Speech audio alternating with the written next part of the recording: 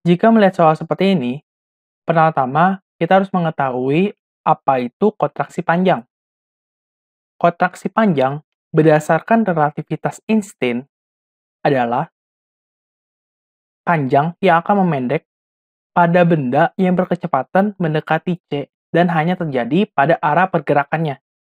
Sehingga, jika ada suatu benda yang memiliki panjang dan lebar, bergerak sebesar 0,7 C mendekati C pada arah pemanjangan P-nya, maka hanya akan berkurang di bagian P-nya saja.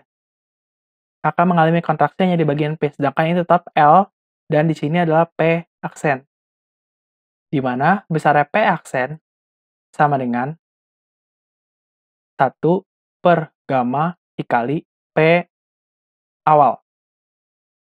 Nah, sekarang kita akan selesaikan soal berikut.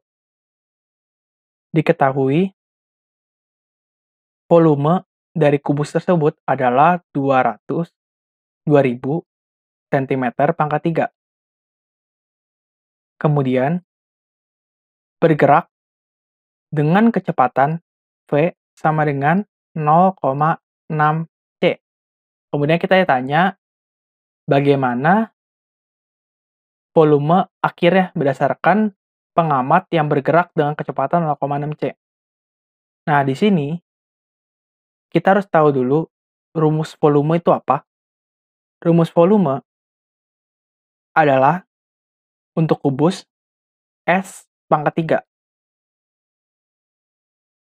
Akan ada kubus seperti ini, yang setiap sisinya adalah S, S, dan S.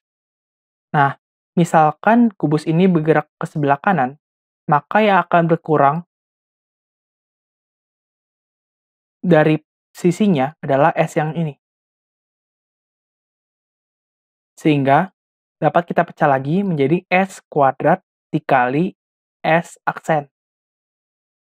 Kita masukkan S kuadrat dikali dengan S aksen, kita ubah menjadi 1 per gamma dikali S biasa. Kemudian kita akan mendapatkan volumenya adalah 1 per gamma dikali dengan S pangkat 3. Sekarang kita akan menghitung 1 per gamma terlebih dahulu. Gamma itu adalah 1 per akar 1 min P kuadrat per C kuadrat. Sehingga 1 per gamma adalah akar 1 min V kuadrat per C kuadrat.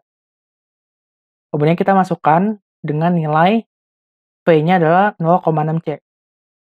0,6 C dikuadratkan per C kuadrat.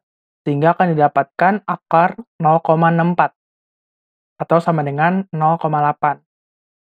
Kita masukkan di sini volume aksen di sini akan didapatkan 0,8 dikali dengan S pangkat 3. S pangkat 3 di sini identik dengan volume, sehingga dapat kita bilang dengan volume. Di mana volumenya adalah 2000.